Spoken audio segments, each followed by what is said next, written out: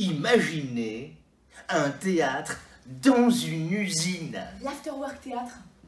Imaginez une programmation tout exprès pour faire marrer vos collègues. L'afterwork théâtre. Imaginez 90 soirées de bonheur qui se terminent en réseautage. L'afterwork théâtre. Imaginez des salariés qui embaucheraient leur patron. L'afterwork théâtre. Imaginez une coach virtuelle pour chômeurs en galère. L'afterwork théâtre. Imaginez un burn-out qui serait presque parfait. L'afterwork théâtre. Même pas besoin d'aller à Vegas. C'est ici à Mérignac, janvier 2020, l'afterwork théâtre.